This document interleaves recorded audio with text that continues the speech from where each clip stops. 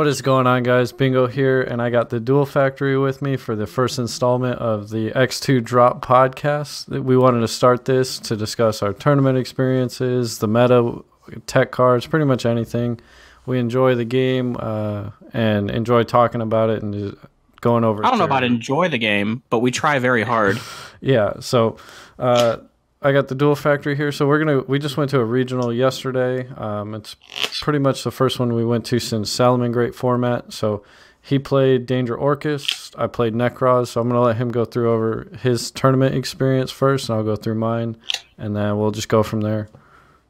All right. So as he said, I played Danger Orcust yesterday. I'm actually trying to get my deck list popped up in front of me while we're actually recording. But um overall I think I like the deck a lot. I think it's real nice. Um, the reasoning behind it is because I feel like it could play through any hand trap other than Lancea that's re- recently resurged in the meta, but we'll talk about that a little later. Uh, as far as the like deck build goes, a lot of it you kind of just want one card uh, ways to get into Mermaid, but you also want to be able to resolve your Mermaid. Um, so like I, I know you were between Danger Orcust, Salamangreat, and I think you contemplated Thunder quite a bit, right? Yeah, those were the three decks that I chose. Um, if you guys have been following the channels, I've been playing Salamangreat a lot. Uh, by far, I think it's the most consistent deck that we have access to right now. Um, the reasoning I didn't want to play it, however, is even though I'd be fine in the mirror, playing mirror matches in Yu-Gi-Oh is easily my least favorite thing to do. So I didn't want to play that. Um, I had been playing Thunder a lot before Salamangreat, and then the Orcust deck just surfaced. Um, I think its matchups are really good. The only problem is I don't think it has a play going second. Uh, the builds now that you see they have Thunder Guard Dragon, like they're just focused on building turn one boards that are huge and just going for game. But the problem is, unlike the Orcust deck, is why I chose this chose Orcust over Thunder, is it can't play through hand traps as well. Like if you stop the Roar, if you stop the Saryuja, so on and so forth, it just it just bricks out of nowhere. So that's one of the reasons I like the Orcust deck a lot is because a lot of the the hand traps that are good against the meta aren't good against it, such as Droll, Ash is okay. Um, no one's really playing O. That's kind of a scary one, but you can play around that one pretty easily. Uh, like I said, Droll and Lockbird does absolutely nothing to you because you don't search. You search yeah. once in the combo, and that is to get the rank up spell. You, you search to trigger Droll, and after that, like, that's it. Yeah, that's it, literally. And then at that point, you're just clear to go from from point A to point B, no problem. And then the combos itself, they're honestly not that hard. You just have to learn how to play around certain situations. Like for example, if your mermaid get that's one of the interesting things about my deck list is I ended up playing three danger, uh, not three danger, but three Orcust Horror Harp. He's the one that special summons from the deck, and I felt it was important to play three versus the traditional one that a lot of the engines are playing. Because if your mermaid gets stopped, but you still haven't used a normal summon, which is a common theme in the deck, is you can make mermaid without ever having used a normal summon you still have access to your full combo. You just have to go about it a little differently, and that's why I really like. Yeah, because besides uh, Sky Blaster, like what other normal summons do you play? The only normal summons you really play in the deck, I mean, you could con- technically consider the Dangers normal summons, but they're more extenders than anything. Um, one of the things I've seen catching popularity ever since Dusseldorf is playing Neospace Connector. Um, having access to Dolphin's actually really huge because instead of having to play around the hand trap, you can just take the hand trap straight out of the hand or force them to use it prematurely especially in the case of Ash Blossom, because they have to ash the connector or they're going to lose it. So that's why I really like playing connector. Um, another cool thing that we did is in my list. I also played the Sky Striker engine because me and um my buddy Aldo, we were talking about it. If you open engage, you can go engage to get your drone like every other regular Sky Striker combo goes. But when you add back with the Kagari that you're going to make off the token, instead of uh, adding back Hornet Drone, you add back Engage. So you can add Eagle Booster, which is basically a searchable Call of Grave that forces your Mermaid through. But other than that, you only have like five to six dedicated normal summons back. Okay. Um, so I know we we talked about the deck list quite a bit, and there's outside of the three harp, it's pretty standard, right, from your list for the most part. The Eagle Booster, so the harps and the Eagle Booster.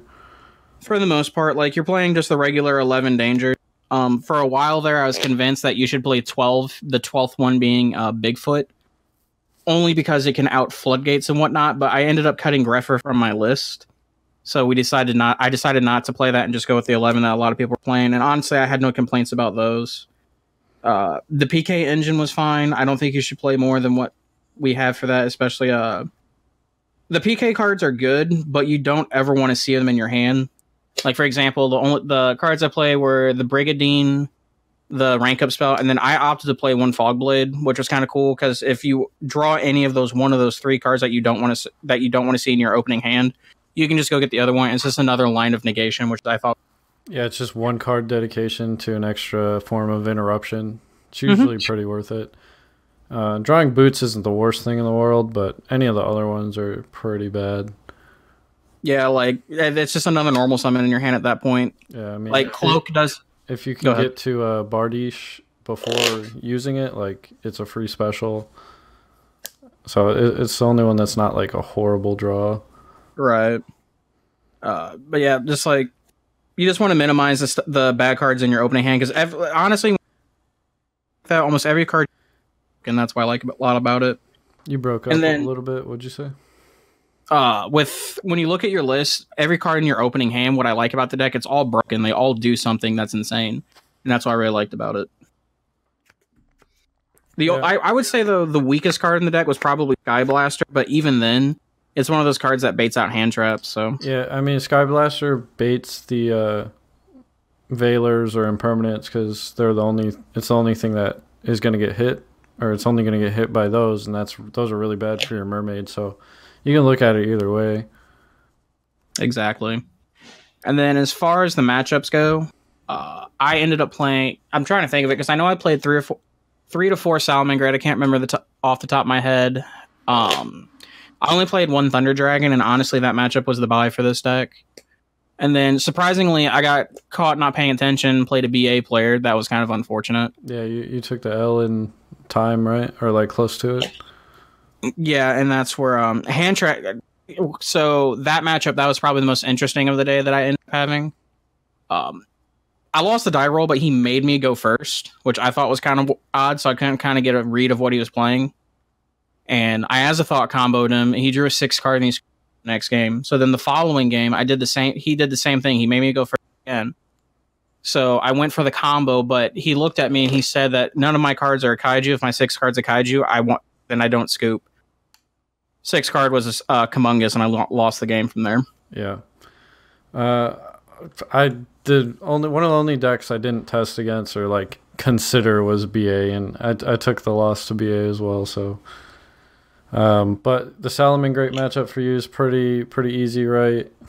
The Salamangreat, yeah, the Salamangreat matchup is actually really good for this deck, and the reason behind that is the only real form of negation that they have that's honestly troubling would be Roar, and even then, most Salamangreat players, if they know what they're what you're playing, they'll go for Rage instead. Because honestly, having multiple field is harder to deal with than having multiple negations. Yeah, if that makes sense. But yeah. a lot of the times, what ends up happening is you play through their one roll, and then you just kill them after like after you just play with it without ever having to go into your yeah go, going in, up against a Salamangreat player i just always assume they have uh, roar ash and either Veiler or impermanence turn one which is which is pretty standard and that deck, will, that deck can play through that pretty easily I will give them credit though for one thing. The fact that they they can main deck so many diverse hand traps is what makes that matchup kind of scary. But as long as you are able to navigate through the hand traps, you should fine. Yeah, for for your deck, it's not that impactful, but being able to add back Ash to their hand and just keep using it is that could be really hard to play through for a lot of the like tier two decks. Yeah, that's why I wanted to make the commitment of playing like connector in the main deck and all playing through specifically for that reason. So, so you lost to um, BA and what was the other, uh, what was the other one? The Salamangreat. Salamangreat, and then you took a draw to what? You, of course. I just wanted you to say it. Yeah, yeah. I figured. Uh, so uh, the event was it was pretty good going into round nine. We were both X two, and then we got paired up against each other for round nine, and we ended up drawing not because we chose to, but because we actually went into time. So it, it was a pretty good event. Anything you would change for for your list? Uh, the main deck as of right now, I probably won't make any changes. I might try to incorporate called by the grave, but that's a stretch from that. Um, the extra deck I would definitely change for sure. Well, There's a couple cards that I wouldn't want to play again. like what? So looking at it, um, just off the top of the head, I can tell you right now, I for some reason I don't know this, Hold but on. I opted to. I can you still hear me now? Yeah, I can. Okay. So I don't know why I opted to play these, but Topologic Bomber Dragon I played because everyone kept telling me it was an honorary Orcust card. Uh, that being said, I pro- you probably shouldn't play it till the new XYZ comes out, the rank eight, because I there was never a situation I wanted to summon it. Like it was cute in theory, but it just wasn't very good. Yeah, I, I felt like people play it for the grind game. You know, it's an easy link four you can get into, um, and then you can just have Babel on the field and trigger it. So like if you're all down to one or two cards, it's it's pretty good. Yeah, you you should never get to that point, and if you are, you're probably in a losing situation. exactly. Um, Borreload Savage Dragon was another card I played because I was playing Destrudo in my list. Uh, looking back at it, the theory behind it was sound, but in actual game application, I just never made it. Yeah, it just Like- like doesn't come up. Yeah, it was just sitting there taking up space. Like your hand has to be incredibly broken for this card to ever hit the field, and it just, like I said, it never happened. So yeah, that's probably going to come out. Um, there was Borreload Dragon in here too that I was playing because I thought Thunder would be a little bit more popular than it actually was. And even against the one Thunder player that I was playing, I never summoned it. it never came up. I just made Borrelsword and killed him. Uh, what would you play instead? So I would for sure uh, make room for Space Insulator. Uh, the reason being is it's a lot better with your uh, Phantom Sky Blaster because it's a generic link too that can be made with tokens, and it's also Dark Attribute, which the Orcust cards lock in the Dark Attribute for the term, and that came up once or twice where I needed to be able to make something to get into them, and I didn't have it, so I had to go a different route. Uh, another card I probably consider playing since I'm playing Sky Blaster is Saryuja. Just being able to make Saryuja before you do your Orcust combo and get th- four additional cards deeper into your deck and kind of sculpt your hand to see the route you want to go is really important. Plus, that's another card that baits out hand traps that doesn't stop your Orcust combo. So I would consider playing that. And then the only other thing I would consider is Time Thief Redoer although I think it's a really good generic rank four that you can go into. And um, one of the reasons I wanted to play it over Evil Swarm Thanos or Thanatos is because you can it can be made with a space connector that was summoned previously in your turn. Looking forward, I would probably instead just play Evil Swarm Thanatos because that card doesn't lose to Pankratops.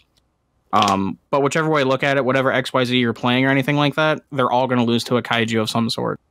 So Yeah, because you you can't activate that freaking rank up spell until they do something. So most yeah, but you can't yeah, act, you can't of activate it until the main phase. Yeah, most of the outs are pretty overlapping, but there's those just niche situations.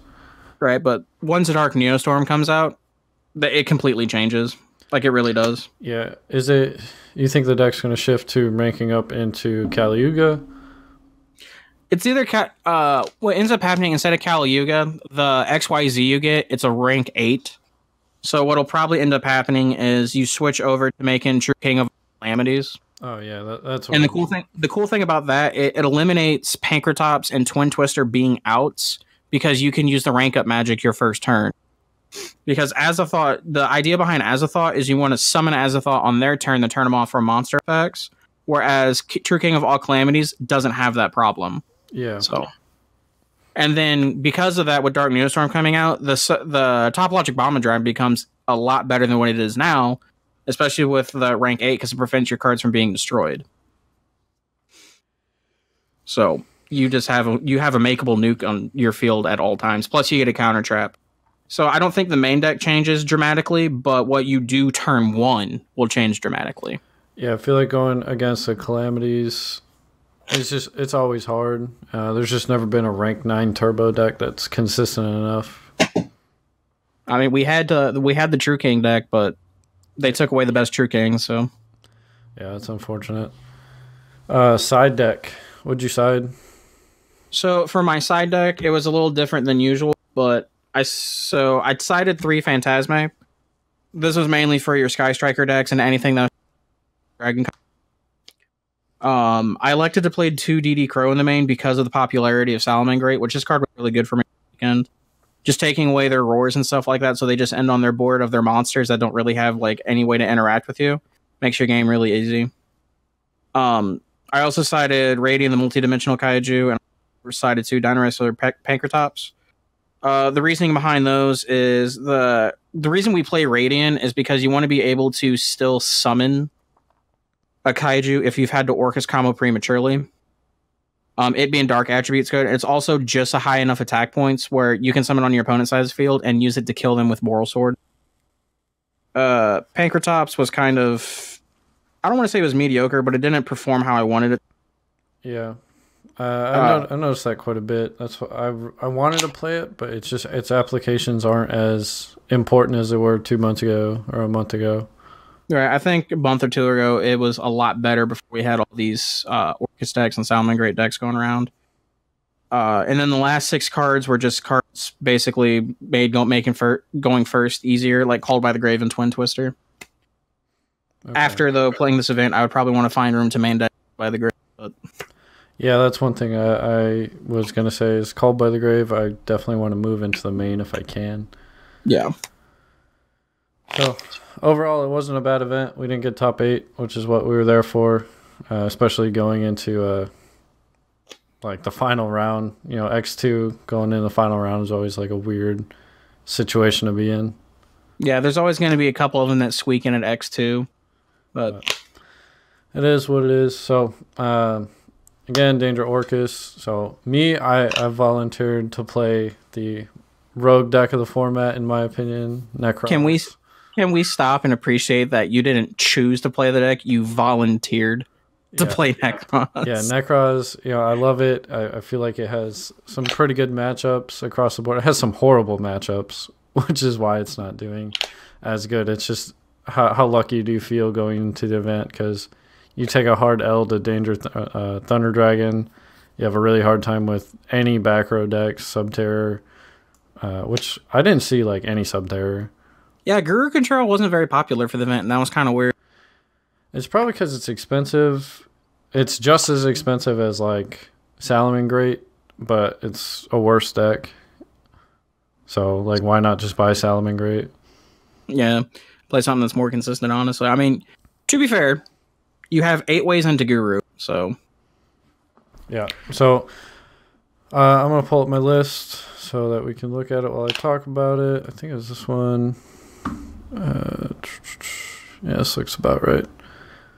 So this is the list I played. The side deck's a little incomplete. Uh, these should be Thanos dragons, but the deck performed really well. Um, round one, I played against Danger Orcust. I lost the die roll, and that was pretty scary. Um, anytime I have to go second game one, I, I'm feeling pretty bad because I'm playing Zaborg, which I would actually cut after this event as well as the Vanity's Ruler combo. I was saying in the past with like Zaborg and stuff like that, when you summon it, especially going first, that's almost. Yeah, and, and that's what happened game two. I, I Zaborged. It was actually a very risky play because I had to tribute over. I had a, I had to tribute over a Candle summoned off of Chalice Slime as well as just Unicorn. So it was like an all in, like I'm either going to do this or I'm going to lose. Uh, so if you Veilored it or permanence it, I would have just took the loss. And then game three, we went into time, and I cowboyed. I went first. I cowboyed. He had two and a half minutes left. He just didn't have enough time to combo. I had Valk in hand anyway. How that how that feel? That, that was that was pretty great. I kept I kept looking at the clock. And my heart's fucking racing. I got uh, Manju and Unicorn on the board, and I'm like, screw it. What's the worst that could happen? I got Valk in hand. If he's got called by the grave, I lose. But let's just take a minute to appreciate that. The year is 2019. Shurit bit back to one. There's no Senju in this deck. And this man with the new time rules is playing Gaga Gaga Cowboy and got a victory. Yeah, so that so that was pretty good. Uh, game two or round two, I don't remember what I played. Uh, something something pretty easy, I think. And then round three is my second loss because that was BA and that was just unfortunate. I misplayed it. If I searched Valk instead of Gungnir, uh, I would have won, but I forgot Yazi can't be targeted. Because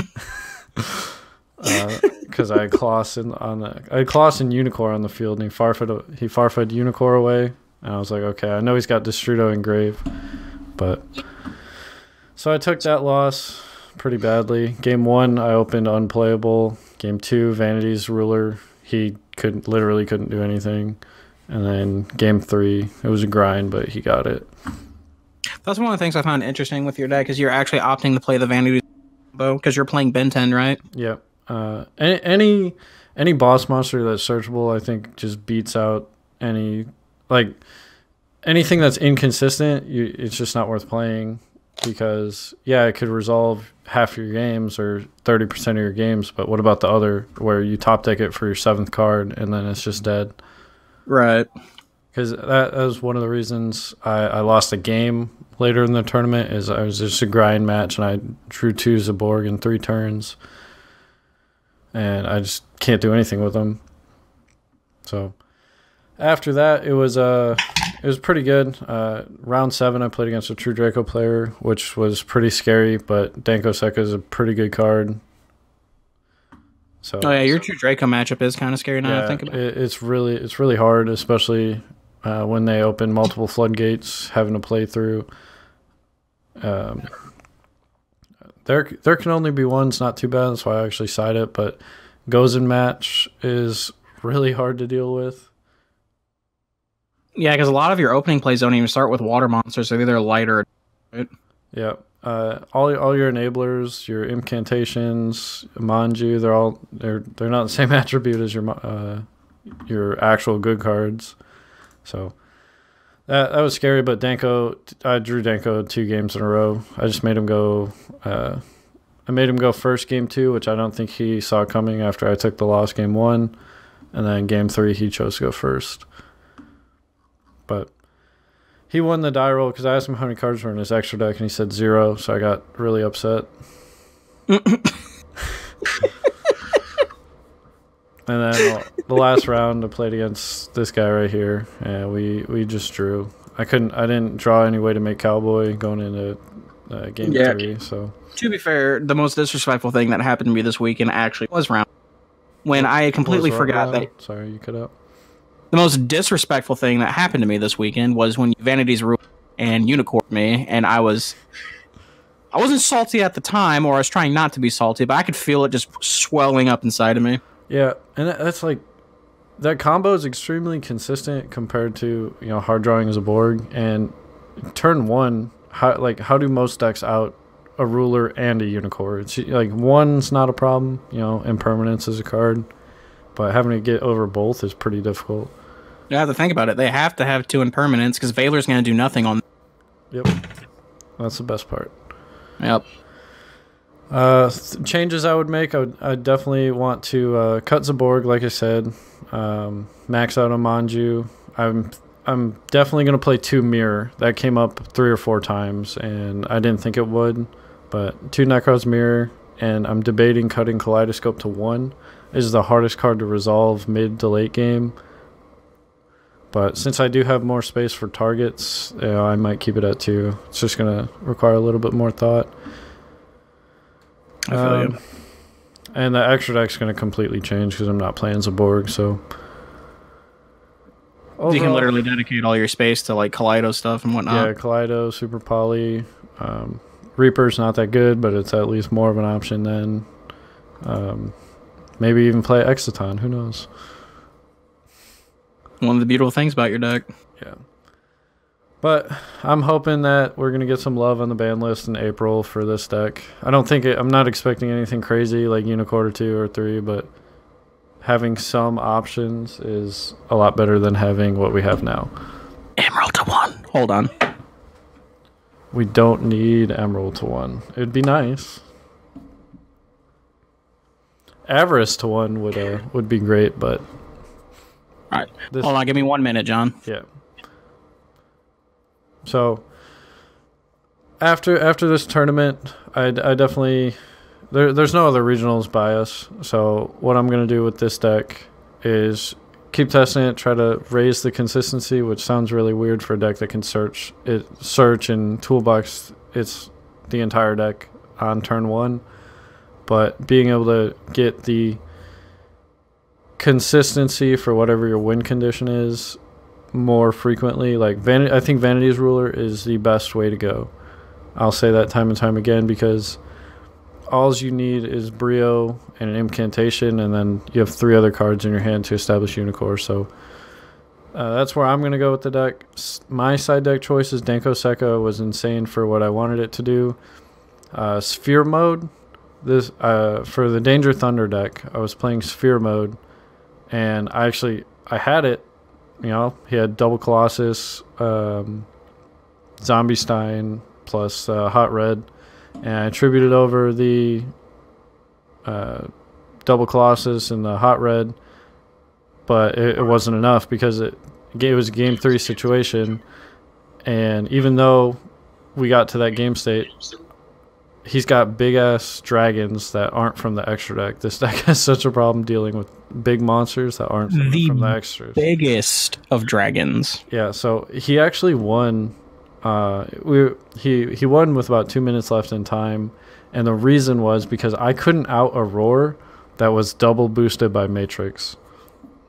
Wait, you had to deal with what double boosted by Matrix? Uh, Thunder Dragon Roar. That I, I, how did I, they, I couldn't out it. How did the game state get to the point where the hardest thing to deal with was a? So, it was uh, I, I trished him right, and then uh, I had enough to clear his board on field, but he had he had a roar and a matrix in hand, which was unknown. So I tr- Trish attacked into the the the roar, and Trish died, and then it just kept going. Like it was top decking situation. So that's yeah. You lost you lost to a guy that's playing a card that's honestly obsolete in that build, and that has to be upsetting. Yeah. I mean, just the fact that you know I lost I lost the die roll um, and it took that long for me to lose to I think the worst matchup. You know, I was I, was, I wasn't horribly upset, but I was I was a little salty. That's insane. uh, Super Poly never came up for me. Uh, in theory, it's still worth playing, right?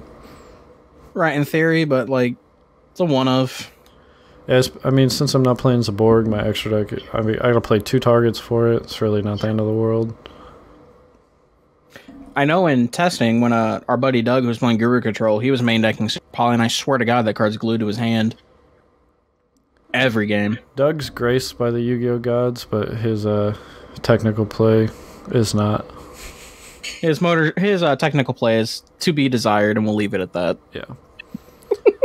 Improve every day we try at least. We try very hard. All right. So, one thing that you kept saying round after round is Lancea is a hell of a card. All right. So, a little backstory here for those of you who, are just now joining us and have never played Yu Gi Oh! back in 2015.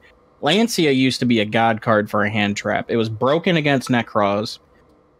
And there are like a couple of other rogue matchups that was a good against, like Ritual Beasts. That that was a really good one to have. But Lancea against Orcust is literally the only thing you can't play through. And vice versa, because Lancea is being sided more heavily now because it also, I think, affects uh, Nekroz a lot too. Now, I don't know if you played anyone who sided Lancea. No, I, I think a lot of the inexperience from, uh, you know, a lot of the players these days either don't remember or have, like, don't even know what the deck does. Like, every, almost every opponent had to read my cards so right. they, they don't know, even if they're siding it, I don't think they know to put it in. Right. But me personally, I know within my first three rounds, I got Lancea. And that is honestly backbreaking. Because what'll end up happening is you do your regular doing, especially once you gone through and kind of like felt through the hand, see what kind of hand traps they have, and they haven't done anything. So when you go to the Nightmare play, and then you link Orcust Nightmare and uh, Mermaid into your Galatea, when it resolves, if you don't have the field spell up, they Lancea you, and then your turn ends because you can't summon any more of your Orcust monsters. And it is honestly the worst feeling in the world because then you can't activate the effects of your PK cards in the graveyard. Your Orcust engine is shut off, and the only thing you have access to is da- your danger cards, and you have to have at least two or three in your hand to be able to play. Yeah, and then even if you do, like, what do you what like what's your end game? There's not much like if the turn that someone lances you, if you have the cards in hand to do it, you have to kill them that turn with sword. There is no other play. Now going first, I'm not saying it's an auto loss, but it's really hard to play. Yeah, that like you just gotta hope that they open pretty much unplayable or like Yeah, which is- subpar. one of the reasons why called by the grave is so important, especially going in games two and three, because that that it's it's so hard to play through that card. It like it just really is, and then vice versa. Lancea gets a lot of mileage against a lot of other decks too. Like I was saying, yours being a rogue deck, you're not going to see it as much pop up, but people are still going to try to play the Thunder Dragon deck, especially since of some of the success it has. And that card adversely is really good against that deck because you can't summon Levianeers. You can't if some people are playing it, you can't hunt hard summon Titan. I mean, the applications just go on and on. Oh, and the baby Guardragon plays, you can't summon those either. I just right now for the current format, especially since you see Orcust decks popping up and whatnot, I think that card's really good right now. And it's I honestly I, I think it's it's amazing. Yeah, I'd say it covers about half the half the relevant meta decks, right? I mean, you don't want to side it against Salamangreat or Sky Striker. Doesn't really do much. If anything, it helps them. Right. Everything think what- else, it, it's fucking great. I think another thing that makes it really really good is the fact that we now have access to Phantasme, so you don't you don't have to dilute your side deck with so many copies as it as because especially with a card like Phantasme, your percentage of seeing a two of goes up versus seeing a three of and stuff like that. So I just right now as a generic side, I think it's really Yeah. So, in your opinion, what are the top three decks?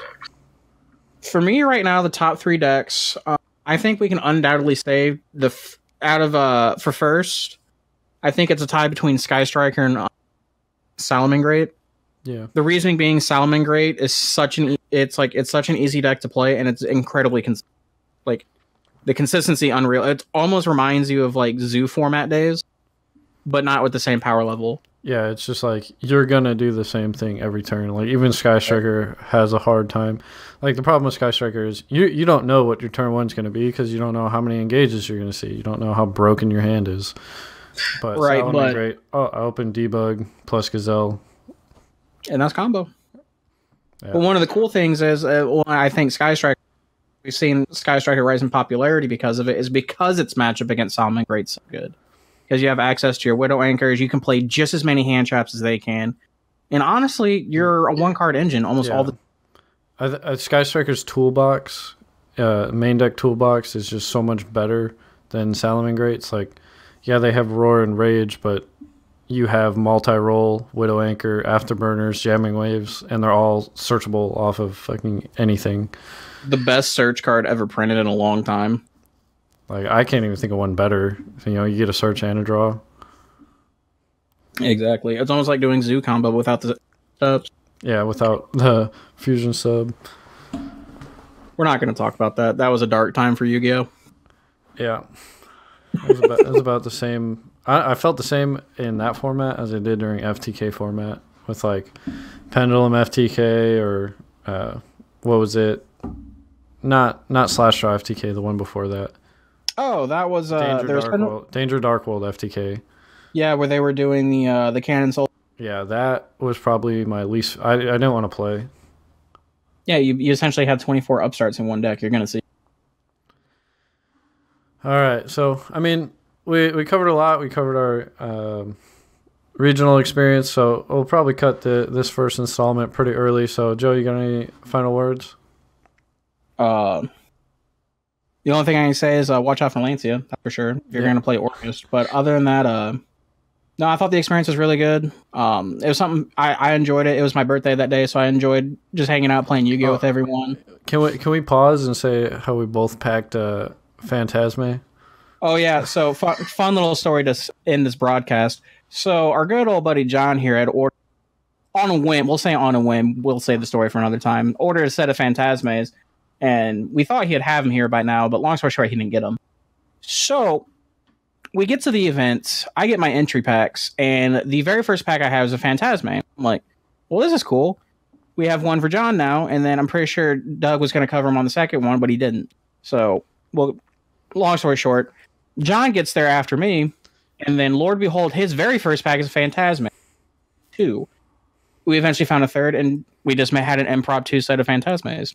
yep. Like I, I was gonna play Secret Village instead for the Sky Striker matchup, but just I just can't believe like we both packed Phantasme first pack. Easy peasy. That's all I have to say. All right, guys. Well, I appreciate you guys sticking around. Uh, if you got any discussion topics you want us to talk about, uh, leave them in the comment section. But you know, it's been Bingo in the Duel Factory, and this has been X2 Drop. Thanks for watching, and check out our other videos. See you later.